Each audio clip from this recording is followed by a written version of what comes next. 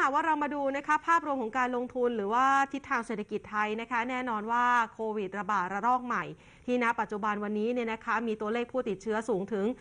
4,800 กว่ารายนะคะ สาเหตุส่วนหนึ่งก็เป็นการติดเชื้อในเรือนจำนะคะ และอีกส่วนหนึ่งก็เป็นพื้นที่ภายนอก ดังนั้นค่ะโควิดที่รุนแรงในระดับนี้ทางด้านของ SCB EIC นะคะประเมินว่าสถานการณ์เศรษฐกิจไทยนั้นอาจจะเกิด recession นะคะ หรือว่าเป็น technical recession ได้ ทิศทางนั้นจะเป็นอย่างไรไปติดตามกันเลยค่ะ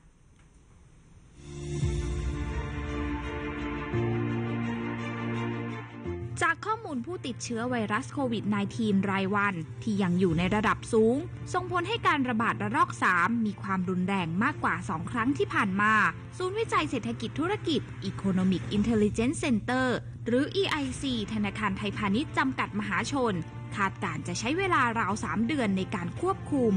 การระบาดระลอกที่ 3 ส่งผลกระทบทางตรงต่อการบริโภคภาคเอกชน หากใช้เวลาประมาณ 3 เดือนในการควบคุม จะทำให้เกิดความเสียหายประมาณ 2.4 แสนล้านบาท หรือคิดเป็น 1.5%ต่อ GDP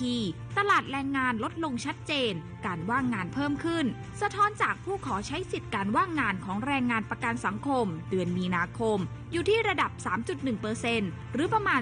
350,000 คน พิ่มขึ้นจากเดือนก่อนหน้าที่มีคนขอใช้สิทธิ์ 2.8%รวมทั้งการท่องเที่ยวจากนโยบายการเดินทางระหว่างประเทศ ที่ระมัดระวังมากขึ้นของทั้งไทยและต่างประเทศ ส่งผลให้นักท่องเที่ยวต่างชาติ ปีนี้จากเดิมที่คาดว่าจะเข้ามาท่องเที่ยวในไทย 3.7 ล้านคน ลดลงเหลือเพียง 1.5 ล้านคน EIC จึงได้ปรับลดประมาณการเศรษฐกิจไทยหรือ GDP ปีนี้ เหลือ 2.0%จากเดิมที่เคยคาดไว้ 2.6%แม้การส่งออกจะเร่งตัวขึ้นตามทิศทางเศรษฐกิจ และมีโอกาสที่การส่งออกไทย จะขยายตัวได้มากกว่าที่คาดไว้ โดย EIC ได้ปรับประมาณการมูลค่าการส่งออกปีนี้ ขยายตัว 8.6%ดีกว่าที่เคยคาดไว้ 6.4%แต่ยังต้องติดตามการขาดแคลนตู้คอนเทนเนอร์ และเซมิคอนดักเตอร์ ที่จะกระทบต่อการขนส่ง และการผลิตสินค้าบางประเภท รวมทั้งการใช้จ่ายภาครัฐ แม้คณะรัฐมนตรีจะมีมติเพิ่มวงเงินกระตุ้นเศรษฐกิจ ประมาณ 240,000 ล้านบาท แต่เม็ดเงินจะเข้าสู่ระบบเศรษฐกิจ ในช่วงไตรมาส 2 เพียง 85,000 ล้านบาทเทียบกับผลกระทบการระบาดระลอก 3 ที่ EIC ประเมินที่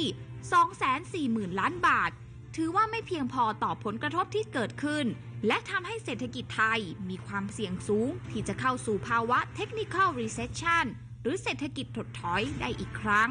ขณะเดียวกันเศรษฐกิจไทยยังต้องจับตาความเสี่ยงด้านต่ำในระยะถัดไป ประกอบไปด้วย ระยะเวลาในการควบคุมการระบาดระลอกที่ 3 ที่อาจจะนานกว่าคาด การระบาดรอบใหม่ อาจเกิดขึ้นได้ ตราบใดที่ยังมีการฉีดวัคซีนในระดับต่ำ และความล่าช้าในการฉีดวัคซีน และประสิทธิภาพของวัคซีนที่อาจมีไม่สูงพอ โดยเฉพาะกับไวรัสสายพันธุ์ใหม่ EIC มีข้อเสนอแนะถึงภาครัฐ ควรพิจารณาออกมาตรการเพิ่มเติม เพื่อลดผลกระทบทางเศรษฐกิจในระยะสั้น และปรับโครงสร้างเศรษฐกิจ เพื่อการฟื้นตัวในระยะปานกลาง และระยะยาว โดยเฉพาะในการปรับทักษะของแรงงาน การช่วย SME ปรับใช้เทคโนโลยีดิจิทัล และช่วยซ่อมแซมงบดุลของภาคครัวเรือน และธุรกิจได้เร็วขึ้น รวมทั้งเพิ่มอัตราการขยายตัวตามศักยภาพของเศรษฐกิจไทยอีกด้วย